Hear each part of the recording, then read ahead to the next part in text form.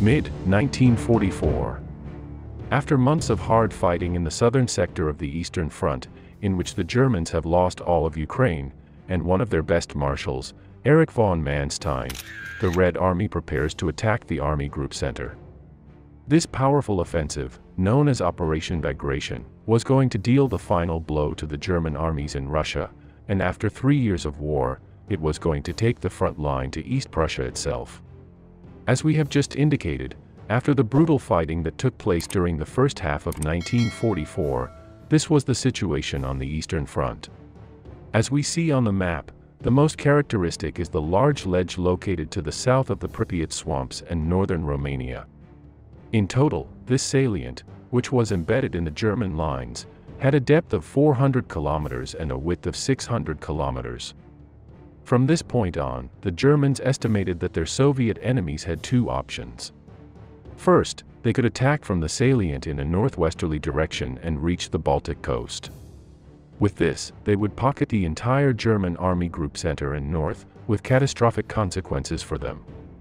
This is exactly what the Germans would have done if they found themselves in the situation of their enemy, and it was on this possible maneuver that they based their defensive strategy. On the other hand, another option that they considered feasible was for the Soviets to attack Romania and seize the vital Ploiesti oil fields. In addition, with this action, they would enter the Balkans, which was a territory that Tsarist Russia had so much claimed. However, this was never the idea of the Soviet High Command, as they knew that an operation in which they tried to reach the Baltic Sea directly would be full of risks, leaving both flanks in danger. Instead, they were going to launch a series of phased offensives against Army Group Center in the vicinity of Minsk, to later attack the sector that the Germans had planned between Kovel and Brest. In any case, the Soviets began a series of deception operations to make the Germans believe that they were going to do exactly what they had envisioned. In this way, the Germans began to fool themselves, and only saw what they wanted to see, sending most of their armored reserves to the position of Army Group Ukraine North, commanded by Walter Model. Thus, while during the day they diverted troops to the southwest, so that these movements would be seen by the Luftwaffe, during the night they brought them back. The main one that the Germans had was that they had to defend a very long front line of about 2,000 kilometers, with increasingly smaller units. Approximately, each infantry division was assigned a front width of almost 40 kilometers, turning the German defense into a real drain. Because of this weakness, it was vital for them to find out in advance what the Soviet breaking point was going to be, so that they could concentrate their panzer units there. Otherwise, the entire German defensive line would collapse with catastrophic consequences. Approximately, the Germans had barely a million men, while the Soviets far exceeded the figure of 2 million troops. With regard to tanks, while the Red Army had almost 6,000, the Germans were able to oppose about 1,500. And finally, and with respect to aviation, the Luftwaffe had about 1,200 aircraft, while its enemies had more than 5,000. The distribution was as follows. From north to south, the Germans had the 3rd Panzer Army, the 4th Army, the 9th and the 2nd Army. On the other hand, the Soviets had the 3rd Belarusian Front, the 2nd and 1st Belarusian Front and finally, already in the center of the salient, the 1st Ukrainian Front. Although these are the general numbers that each army had, it should be noted that the operational initiative was held by the Soviets, and this allowed them to obtain a superiority of 10 to 1 or even more, at those points on the front where they attacked. The attack began on June 22 with a devastating artillery attack on the German defensive lines.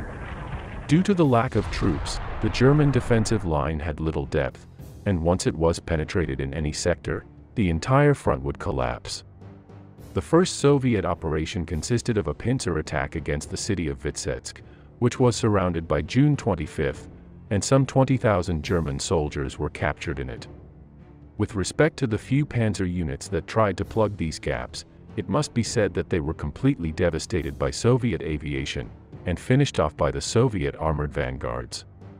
A day after the start of the offensive in Vitebsk, another double attack began further south, against the cities of Mogilev and Bobruisk. This was led by Rokossovsky himself, who made his way at full speed through the German defenses in the direction of Minsk. The German response was to send part of the Ninth Army that was further north, but they could do little to nothing in the face of the overwhelming Soviet advance.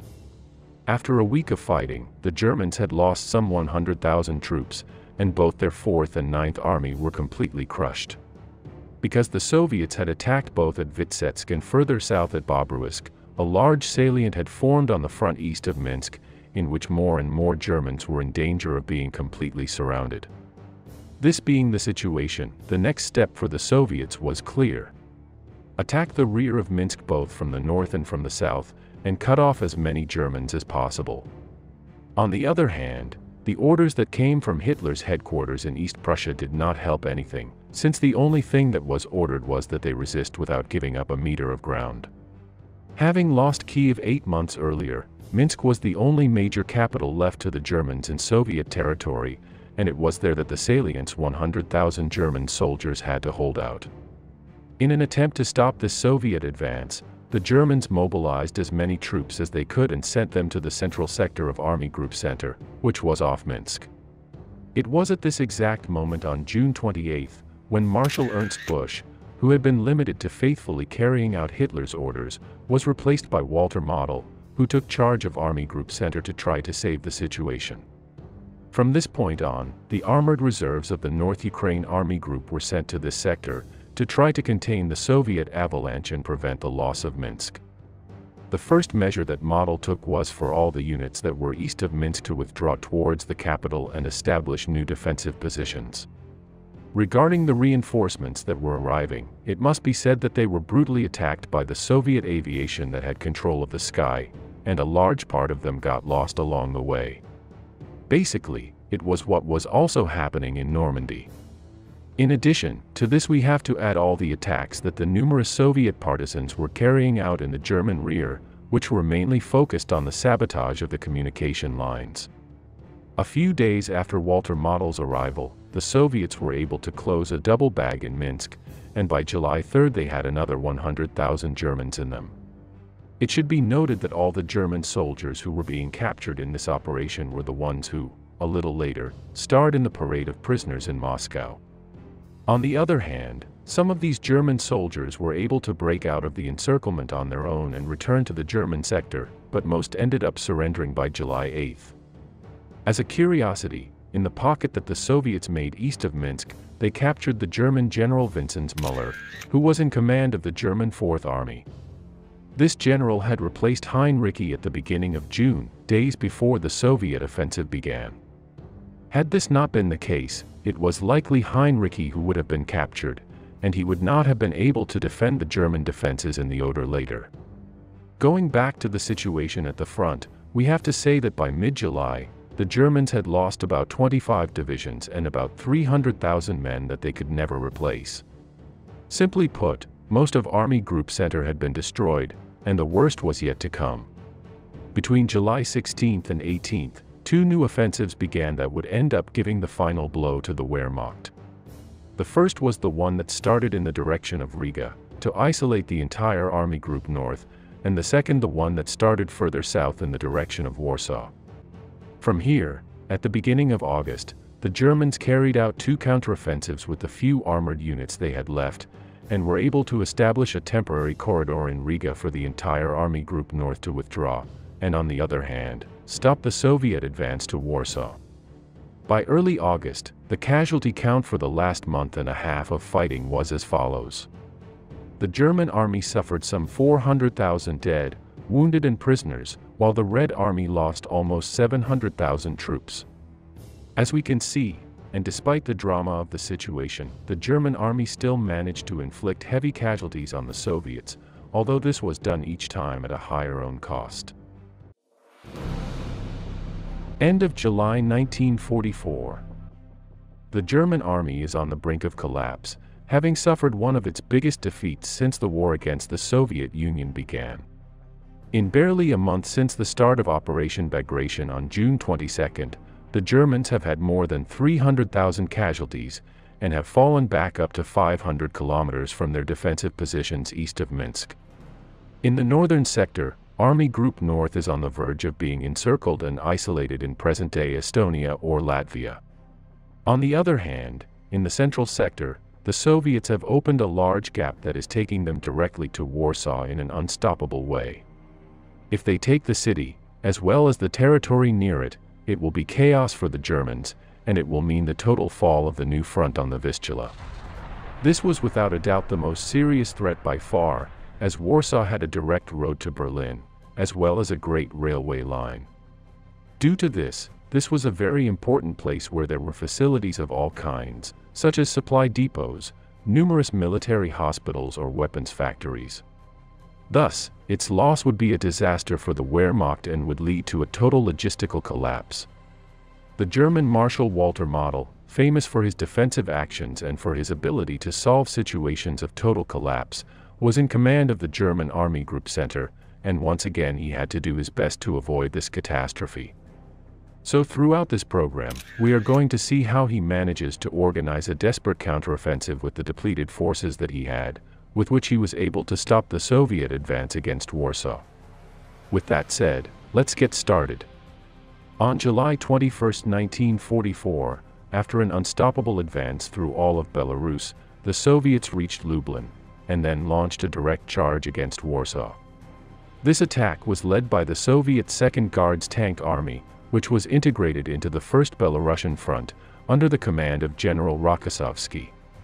After five days of fighting, the Red Army broke through to the Vistula, and was located just 20 kilometers south of Warsaw. The Soviet plan was very ambitious, and consisted of attacking Warsaw from all sides with the aim of encircling it. Southwest in the first place, they would advance north along the eastern part of the Vistula River until they passed Warsaw, to later cross the river both north and south of the Polish capital, thus encircling the city. As we have said before, this action would destroy numerous German divisions in the area, and the entire German logistics system would collapse. As this Soviet advance was taking place, Walter Model was mobilizing for combat every man he could find, removing them from hospitals, offices, administrative posts, and in general, any men who were in the rear without fighting. With this action that was very typical of him, he tried to reinforce the entire front line while concentrating his panzer divisions to launch a strong counterattack in the area. Despite having to weaken other sectors of the front, Walter Model was able to concentrate at full speed four panzer divisions near Warsaw, with which he was to carry out his fierce counterattack. The first was the 19th Panzer Division which he brought up from the Białystok sector, which was northeast of Warsaw. This was joined by the 5th Panzer Division of the SS Wiking, together with the 4th Panzer Division, which also came from a sector near Białystok, after having suffered heavy losses in the fighting the previous month. And finally, Walter Model could count on the Hermann Göring Division that came from Italy to reinforce the Eastern Front. In total, these four divisions had about 300 armored vehicles between tanks and assault guns, which had to face about 800 Soviet armored vehicles from the Second Guard Tank Army. Thus, while the German Marshal was sending all these units to the vicinity of Warsaw, the Soviets broke through the front on July 29 and advanced at full speed to Radzymin, which is located about 20 kilometers northeast of the Polish capital. This Soviet penetration had been carried out in a frantic way, without consolidating or protecting any flank, which generated a marked salient in the front line. Although this left the Soviet 3rd Tank Corps in an exposed situation, the General Staff of the 1st Belarusian Front did not consider that the Germans had enough forces to have to worry. In any case, this advance threatened to eventually cross the Vistula to the north of Warsaw, whereupon the Soviets could encircle the city. At the same time as this was taking place, the Poles began their uprising in Warsaw on August 1, this also being the time when Walter Model began the first phase of his counterattack. This first action consisted of a pincer attack by the 19th Panzer Division attacking from the west flank, and the Waffen SS Wiking Division from the east flank, both heading towards Okunie. This offensive was a complete success, and in just a few hours, the Germans managed to cut the entire line of communication of the Soviet 3rd Tank Corps leaving it isolated from the rest of the Red Army units. Later the next day, the 4th Panzer Division joined the attack from the north, and the Hermann Göring Division from the south. With this they gave even more impetus to the German attack of the previous day, and increased the pressure on the Soviet troops trapped in the Radzymin salient. This was described as a perfect maneuver by Walter Model, in which he attacked concentrically with four panzer divisions, completely crushing his enemy. Thus, little by little the 3rd Soviet Tank Corps was being squeezed, until it was practically annihilated. After completing this maneuver that took the Germans until August 3rd, the next day, the four panzer divisions began a new attack in a southeasterly direction, which finished off the rearguard units of this tank corps, which they had just destroyed. It is estimated that a total of 550 Soviet tanks were destroyed, out of the total of 800 that had started this flanking attempt on Warsaw. At the same time that this was taking place, the Soviets stopped the advance they were making on the area at a general level, and abandoned the idea of encircling Warsaw as they had planned. Similarly, they also made no attempt to open a land line of communication with Warsaw and support the Polish uprising, despite being only a few kilometers from the city. It is at this point that a great debate opens, about whether it was really this attack that really stopped the Soviet advance on Warsaw, or if it stopped because Stalin wanted to deny aid to the Poles. With this, he intended that the Germans themselves be in charge of eliminating the Poles loyal to the exiled government in London, instead of having to do it himself. In any case, it should be noted that although the Soviet advance on Warsaw stopped, the attacks continued with great intensity against East Prussia and against Army Group North, which was finally isolated in Courland two months later. In any case, this victory was crucial at all levels. In the first place, Walter Model was able to save the entire German line of communications and supplies, avoiding the catastrophe that losing it would have entailed. Thus, he had saved Army Group Ukraine North which had been withdrawing from Lviv, just as he was able to save Army Group Center by allowing it to win a lull in the fighting and re-establish a new defensive line. Lastly, he was also able to maintain logistical contact with Army Group North, although later and as we have just said, he ended up being isolated in Courland.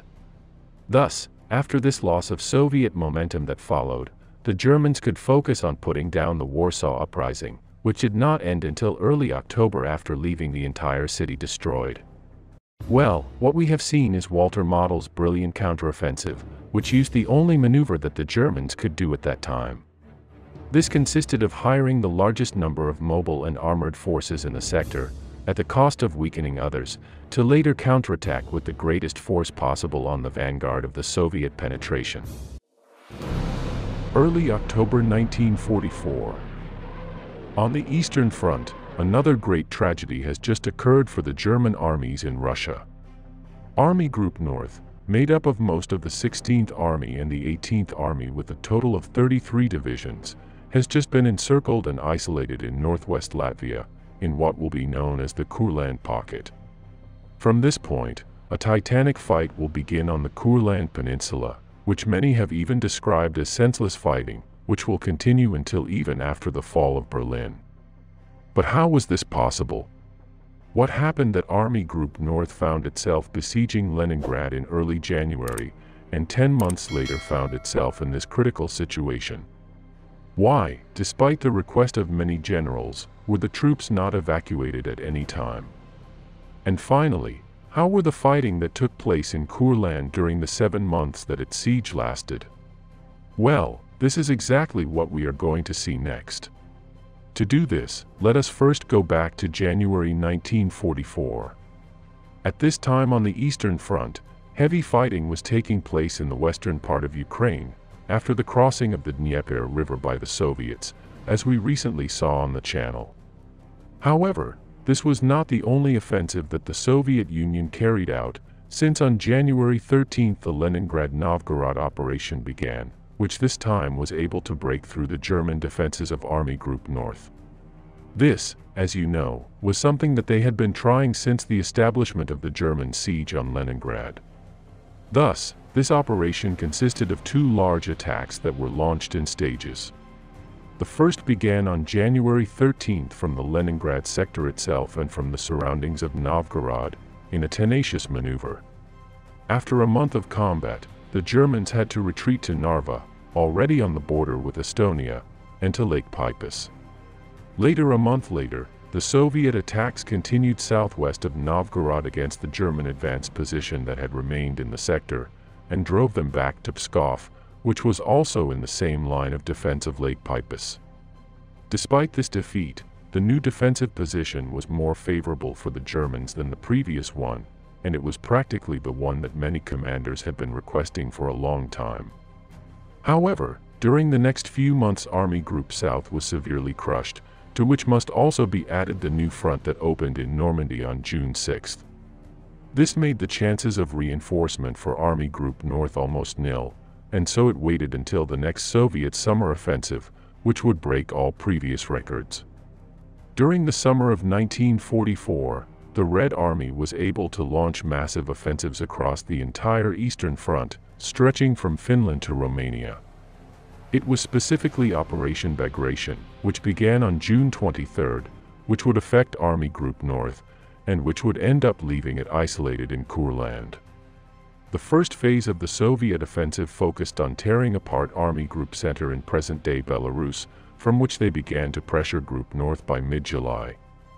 The attacks began to the southeast of Riga, and concentrated on the weakest point of the new German salient that had formed on the Eastern Front, after the retreat of Army Group Center. Although the attacks that the Soviets were carrying out against Narva, or to the south of Pskov were not having much success, that was not the case in the one launched north of Kaunas, which in just 10 days managed to advance some 200 kilometers, and on August and reached the Gulf of Riga. With this, the entire Army Group North was isolated for the first time since the war had begun.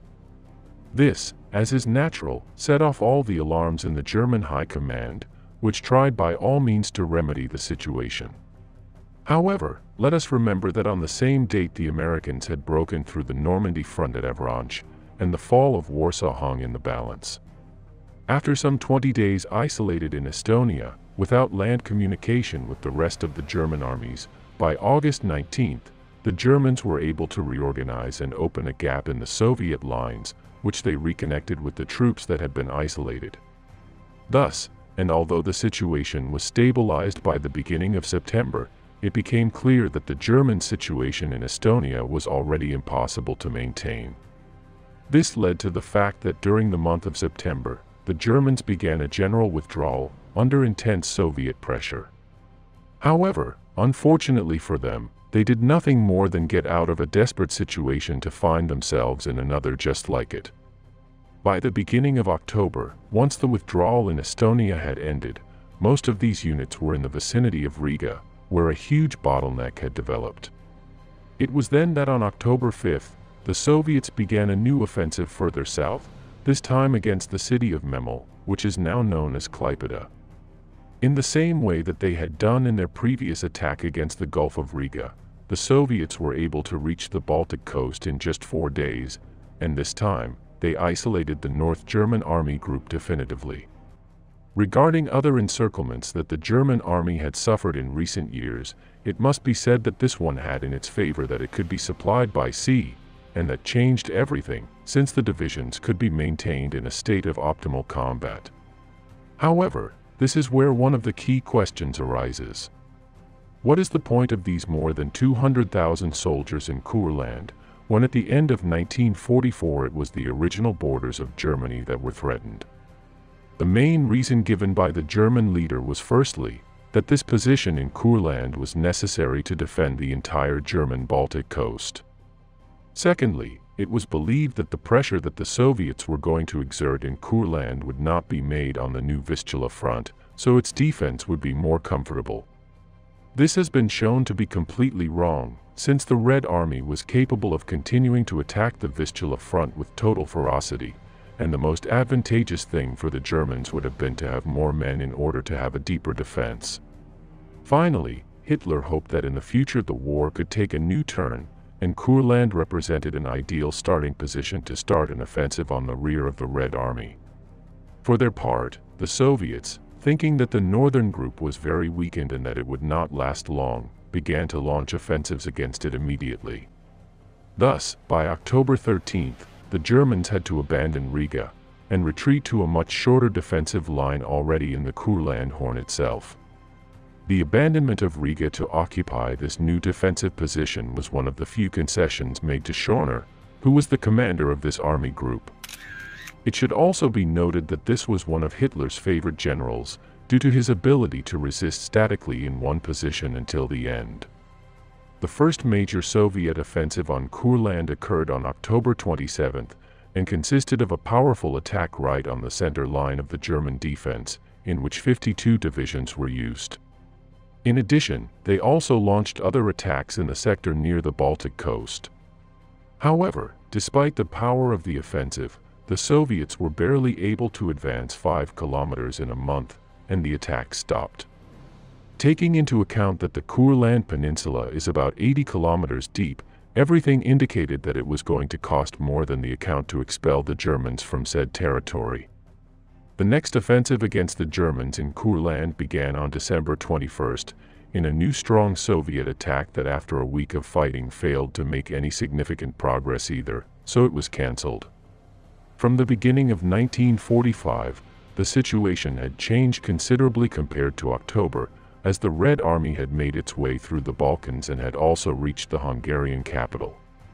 On the other hand, the last hope of the Germans on the Western Front had failed, and there was no longer any opportunity to deliver that strong thrust that could change the outcome of the war. Thus, the greatest concern now was on the Vistula front, where a major Soviet offensive was expected that could even reach Berlin itself. This intensified the demands of generals like Guderian, who had been demanding for weeks that the German divisions be evacuated from Courland. So this time they paid off and in mid-January seven divisions were evacuated from there. This was also the time when Army Group North was renamed Army Group Courland. With this we have that the request for a total evacuation was definitively rejected forever. The next Soviet offensive against them occurred when they had also broken through the Vistula front on January 23rd. Again and despite the fact that the Germans were now more weakened, they managed to repulse the Soviet attack. During the month of February the Red Army continued to attack Courland, and this time they did achieve some victory over the Germans on the entire front line, even managing to pocket the German 126th Infantry Division at Prekul. However, it was not something that the Germans could not solve, and after withdrawing a bit, they reconsolidated a new defensive line before which the Soviets had to paralyze again.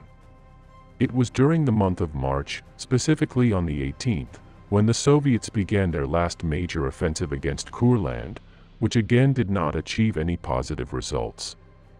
This was already the straw that broke the camel's back for Stalin, who saw that despite the resources used since October 1944, he had achieved practically nothing in that sector. So he summoned the generals of the different Baltic fronts and ended up disbanding the last remaining Baltic front, and sent those troops to support the operations that were taking place near the Oder front. Thus, at the beginning of April, the Soviets gave up on conquering Courland by direct military means, and focused solely on blocking and isolating the territory. After Hitler's death, Dönitz gave the order to evacuate as many troops as possible from Courland before the final capitulation, with the aim that they would not end up being taken prisoner by the Soviets. This is how some 20,000 soldiers were evacuated by sea from there between May 3rd and 8th. By May 9th, the remaining German troops in Courland had finally surrendered, and the Soviets were able to capture a total of 189,000 German and 20,000 Latvian fighters. 284,000 casualties were those that the Red Army suffered during these seven long months of siege, in which it failed to break the German defenses in Courland, compared to 117,000 Germans. Undoubtedly, this defense can be considered a German feat, which, while true, would have been much more effective on the Vistula or the Oder. From here begins a great debate about the importance of retaining up to nine Soviet armies trying to penetrate the German defenses in Courland. Did this prevent progress on the rest of the Eastern Front from going faster? Would these troops have been of greater importance on the Vistula or the Oder? From my point of view yes, but I let everyone answer these questions. If you want to see other battles that took place during this final phase of the conflict on the Eastern Front, I leave you the video of Walter Model's counteroffensive in Warsaw, and the video of the Bautzen battle in the description. Thank you all for being part of this community, and especially the sponsors who make this possible. Subscribe and share this program if you liked it, and we'll see each other here as always, next Thursday and Sunday. See you soon.